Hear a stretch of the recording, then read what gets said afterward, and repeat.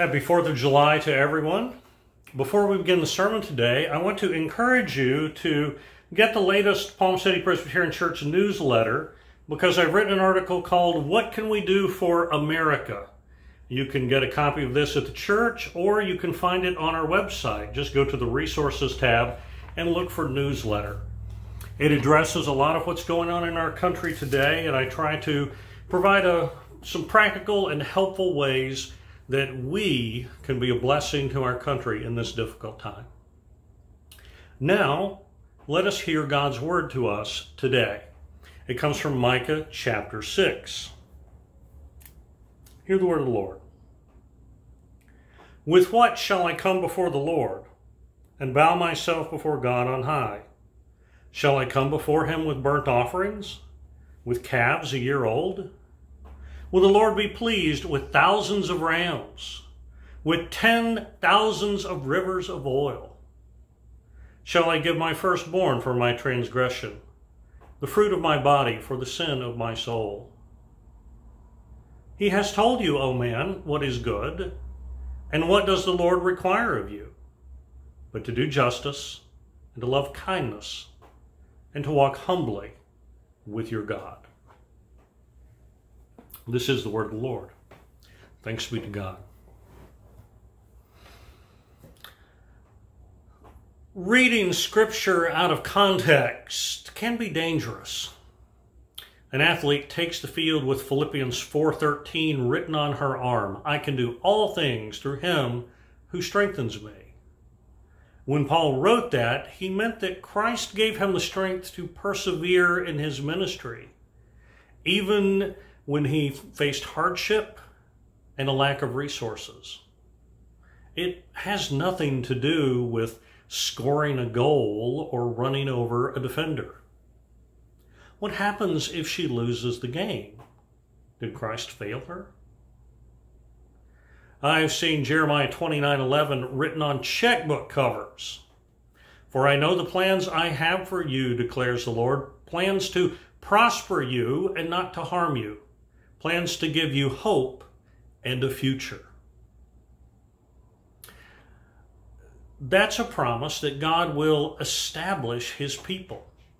I suppose it could be interpreted more broadly to describe God's care for each of his children, but it's certainly not a promise that you're going to get rich.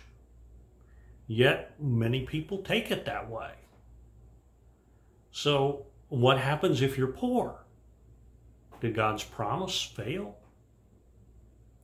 Probably the most misused verse in the Bible is Matthew 7 1. Judge not that you be not judged.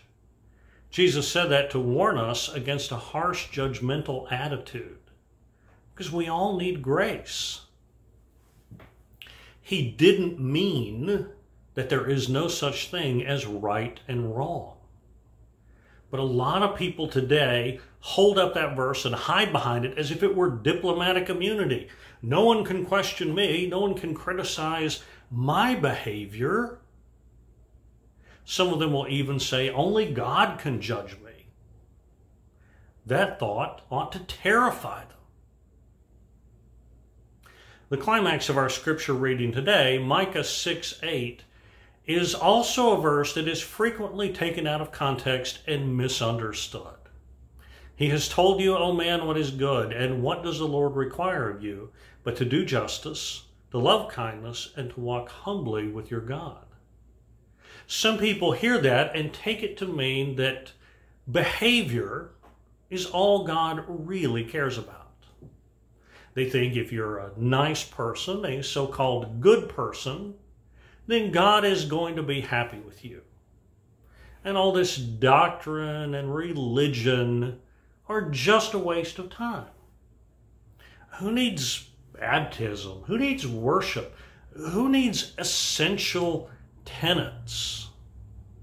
Because all God cares is that you're fair to people and honest. That's what religion boils down to in the end, right? That's what they say, but they're wrong. They're wrong because they misunderstand this verse and they misunderstand it because they take it out of context.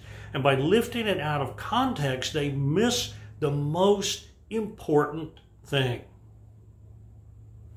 covenant. These words are spoken within the context of the covenant relationship between God and his people. Last week, we heard that God bound himself to his people by a covenant. A covenant is a relationship of promise. He made a covenant with them and he was faithful to them, even when they were not faithful to him. In Micah chapter 6, God basically says, I've been faithful as your God. Why haven't you been faithful as my people? And in our scripture reading today, God's people say, Okay, we understand that you're upset. What do you want from us? And verse 8 is God's response. It assumes that covenant relationship is there. So let's read our passage in its proper context, and we will see that A, your right behavior grows out of your relationship with God. It's not a substitute for it. And B, God has a very challenging message for us today. So in verses 1 through 5, God brought a lawsuit against his people. He was not happy with them. Why not? As we heard last week when I preached on this, those verses, honest people were being cheated out of their ancestral land. Judges were corrupt. Prophets were greedy. Priests were lazy. And nearly everyone worshiped idols. They had stopped listening to God's word. They had stopped obeying God. These were supposed to be God's people. But who could tell the difference between them and any of the pagan nations that lived around them? As I also explained last week, they suffered from a theological condition known as small god-itis. This is what happens when your understanding of God becomes so small that you think of God as a human being who has a lot of power. This happens when we fail to listen to God's word, it is accelerated when we live by the world's values. First, truth begins to seem less plausible. Then it's less clear. And in the end, you end up with a caricature of the living God instead of real knowledge of Him. In the case of God's people in Micah's day, it caused them to imagine that God was just like one of their corrupt officials. Back then, if you got in trouble, or if you wanted to do something that wasn't strictly legal, all you had to do was bribe the right person. Getting your way was simply a question of how much were you willing to pay. In last week's passage, God brought that lawsuit against his people. This was a literary device Micah used to express his message in a creative way. Micah was very creative. He spoke in a memorable way. So he, he frames his message as a lawsuit God brings against his people. And in our scripture reading today, that lawsuit, that conversation continues. So God's people say, okay, we get it. You're angry. You're upset. You have a right to be. And rather than respond to God as they should have, they responded to God the way they would respond to one of their corrupt judges or officials. They treated his lawsuit, they would have treated any other lawsuit. They didn't try to argue their case or counterattack God's arguments. Instead, they whipped out their wallet. It's bribe time okay, God, you've got a point. So what do you want? Don't worry, we're going to make this right. Tell us, what do you want? How much is this going to cost us? If you look at verses 6 and 7, you'll see that the price keeps going up. It starts out With what shall I come before the Lord? And how will I present myself before God on high? Shall I come before him with burnt offerings? Burnt offerings seem like a good place to start because the law of Moses prescribed burnt offerings to atone for sin. Not because burnt offerings really atoned for sin, but the burnt offerings were a symbol of a person's repentance. And in a mysterious way, they pointed toward the cross of Christ. So the law said, bring a burnt offering. Maybe that was what they needed to do.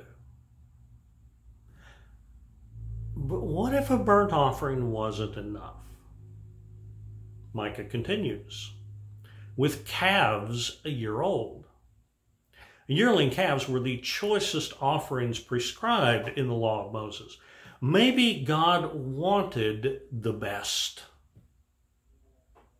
But then again, maybe it wasn't quality God was looking for. Perhaps it was quantity. Micah says, Will the Lord be pleased with thousands of rams, with ten thousands of rivers of oil? Thousands of rams is a lot of rams. And ten thousands of rivers of oil is clearly impossible. But is that what God wanted? Are God's demands so unreasonable? Micah wasn't finished. Shall I give my firstborn for my transgression, the fruit of my body for the sin of my soul? This is heavily ironic. To even suggest it was to insult God. Because in the law, God absolutely forbade any form of human sacrifice. He said it was an abomination. God's people were never to do that. And yet, King Ahaz did that. He offered some of his own children as sacrifices to pagan idols. What Ahaz thought was the pinnacle of devotion, God utterly rejected. So their attempt to bribe God failed. Even if they had 10,000 rivers of oil, it wouldn't be enough. Even if they gave what was most precious to them, it still was not enough. Well, okay then. So, God, what is it that you want? And He gives us the answer. He has told you, O man, what is good. And what does the Lord require of you? But to do justice, to love kindness, and to walk humbly with your God. When Micah uses the word man, he clearly means it in the old fashioned way that includes both men and women. And again, remember that these words are spoken within the context of the covenant. These people know God, or at least they should. They have experienced His grace. They are His people. They know that they are His people. So they have this relationship, this foundation. So, given this foundation, this covenant with God that they have, how does God expect them to live? Now, I would add that God expects everyone to live this way, whether they are believers or not. But you need to understand that this lifestyle without the relationship does not do you any good. Now, Micah assumes that covenant relationship. He takes that for granted. We can't afford to do that. God wants you to have both a covenant relationship with Him, which you have through Jesus Christ, and to live this way. And if your relationship with Christ is genuine, God's grace is going to change you and you're going to have the lifestyle. You really can't have the relationship without the lifestyle. You could have the lifestyle without the relationship, but again, it's not going to do you any good. You need both.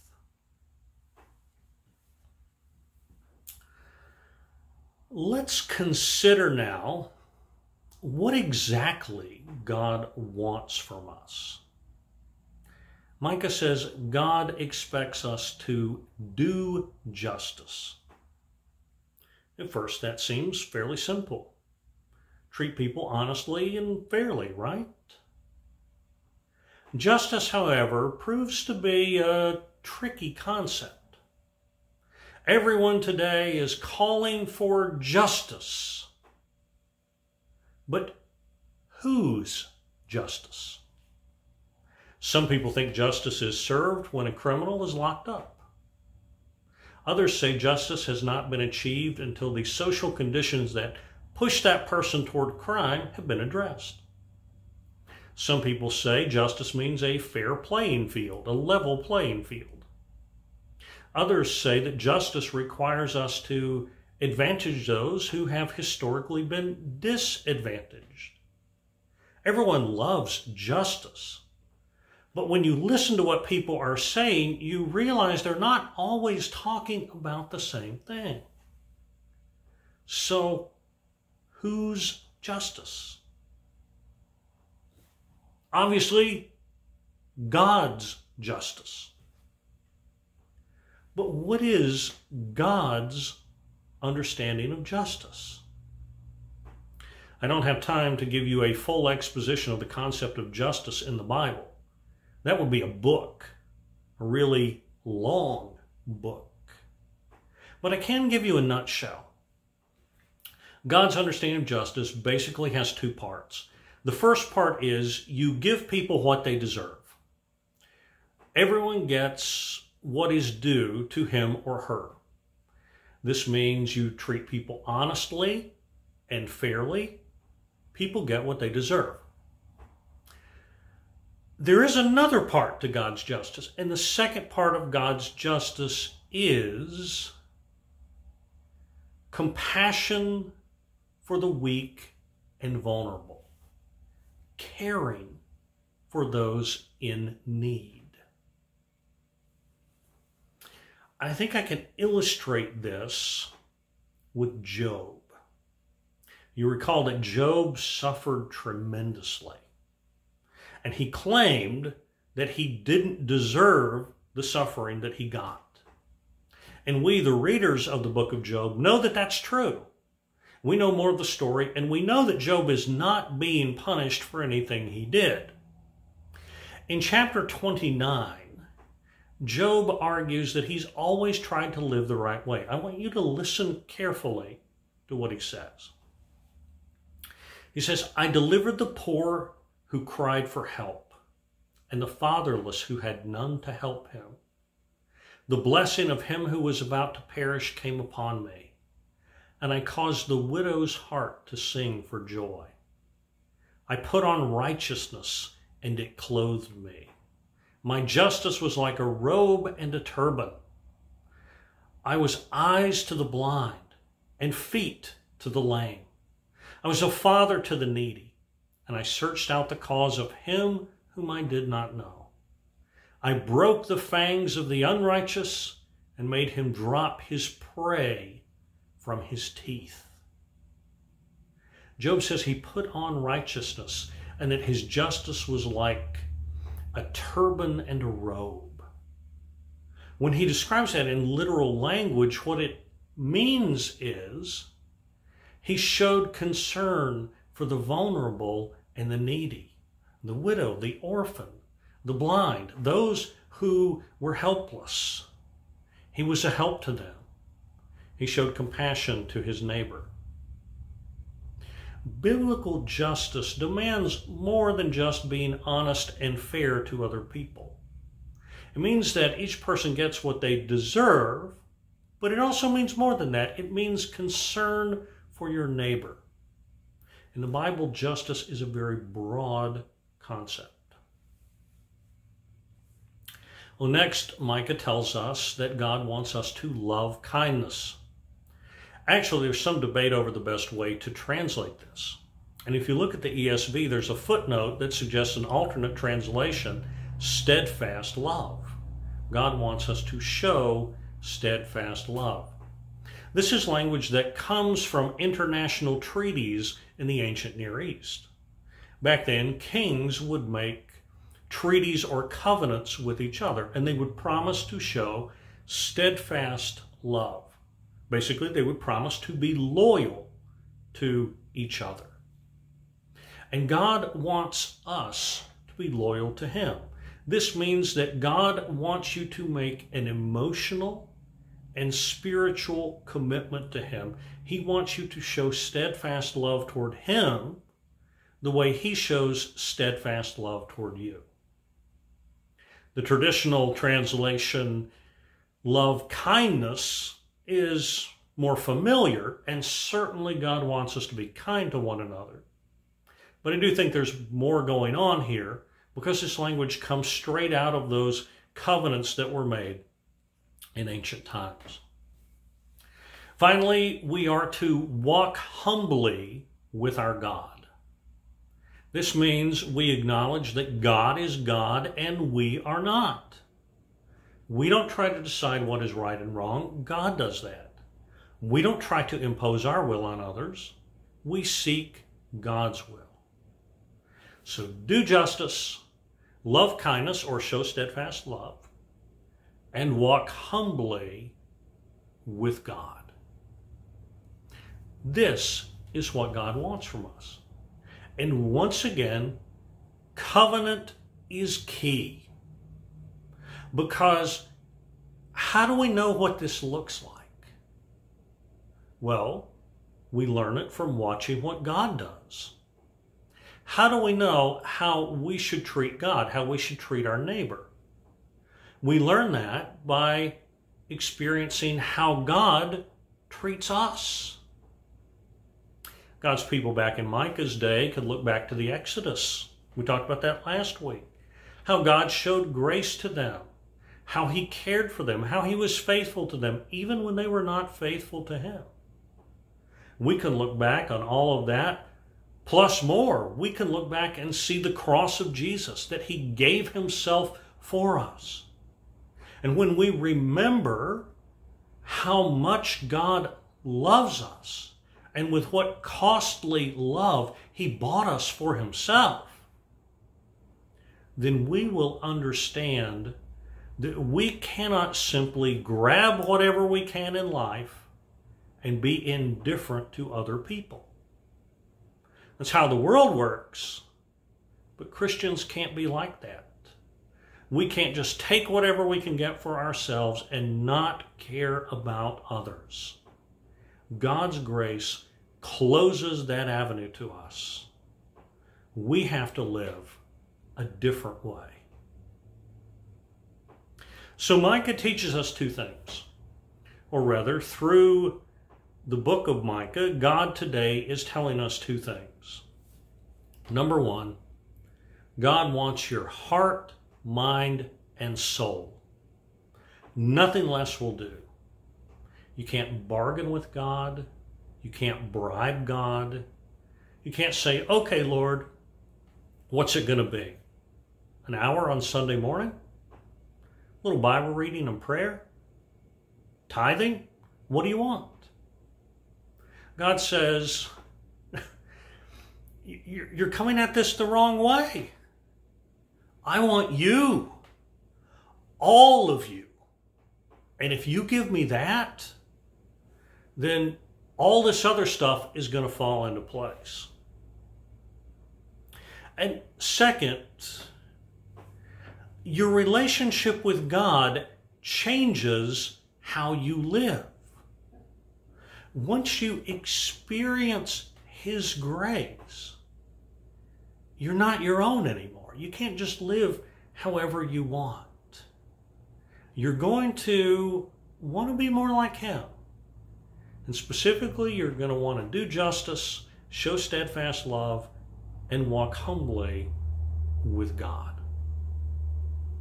So, covenant and lifestyle a relationship with God through Jesus Christ that makes you Christ like. That's what God expects from you. And that is also God's gift to you.